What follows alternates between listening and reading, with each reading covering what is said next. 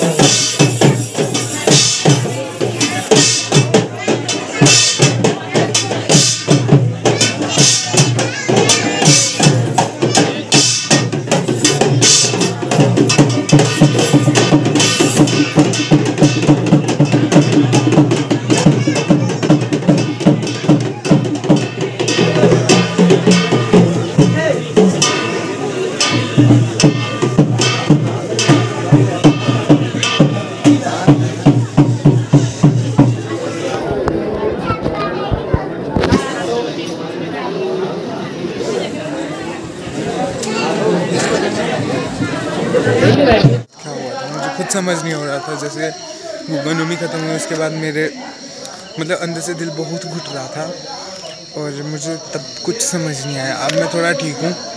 पर सीरियसली बोल रहा हूँ कि मेरा बुरी हालत हो गई थी, रो रो के। मेरी आँखें भी सूज गई हैं। शायद पता नहीं मुझे क्या हुआ था। इसलिए मैं ब्लॉग कंटिन्यू नहीं कर पाया बट रात को जो व्यू है, इतना सुंदर लग रहा है।